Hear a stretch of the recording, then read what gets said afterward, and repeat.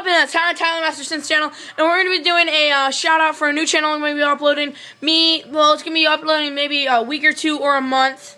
Ba around that area. It's going to be called Movie Poop Productions. Just a little shout out we're going to be doing. And it's going to cover uh, everything. It's going to cover basically whatever you can imagine, unless gaming. Gaming will be in the future because I need to get the equipment. And um, the movies will be kind of bad quality because it might be from an iPhone because um, I need a camcorder. My dad will give me be getting me a camcorder for Christmas this year. So we are probably going to be um using that for that uh, that video those videos. So we're also gonna be doing stop motion films and little tiny vines and stuff like that.